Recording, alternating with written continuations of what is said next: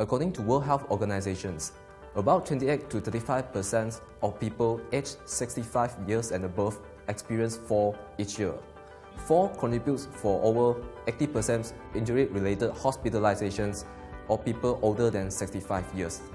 This raises a need for distress call systems when elderly experience falls. We propose a fall detection system with a wearable detectors that link with a phone app. The wearable detector is mounted on the belt of the user to collect the movement of the data.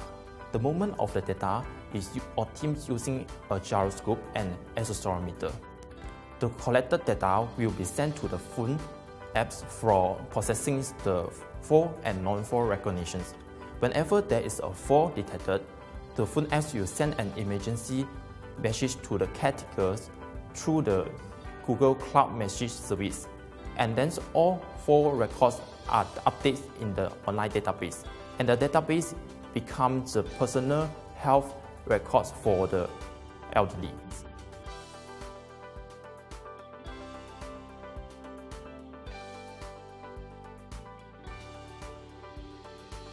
There are four important processing stages in these algorithms. The first one is the filtering, the second one is the segmentation, and the third one is the feature extraction, and the last one is the four classification.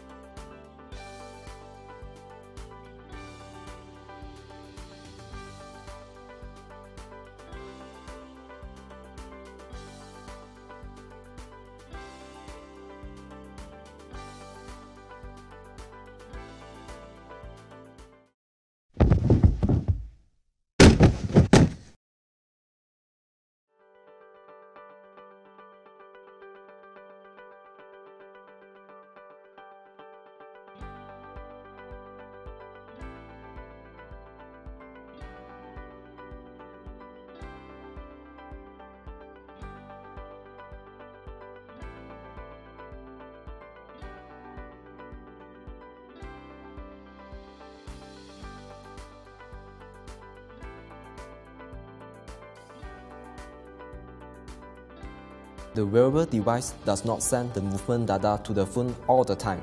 The connection between the wearable device and the phone is made only when certain thresholds is attained. Using smartphone as the intermediary communication system, our system becomes portable. Hence, the fall detection can work beyond a fixed area. And our system embraces the concept of Internet of Things, IoT. The wearable device itself collects the data and sends the data to Internet for data collections through the smartphone applications and a shared database that has more than one users will actually enable the patterns of fall to be analyzed just to build a statistical modeling of fall events for local or global populations. This data analysis and big data approach will eventually enhance the predictive ability of fall events to be used by healthcare service provider. And this IoT concept shall improve the healthcare system.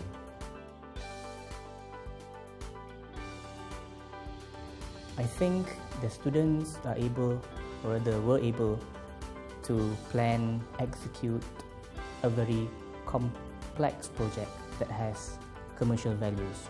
It's this kind of projects that has potential to be admitted into entrepreneurship programs like the programs conducted through the InnoHub by UPM. This project has a lot of potentials in advancing the technology in humankind applications. By making this device accessible to the public, it will definitely help not only the elderly, but also the caretaker in ensuring a better quality of life.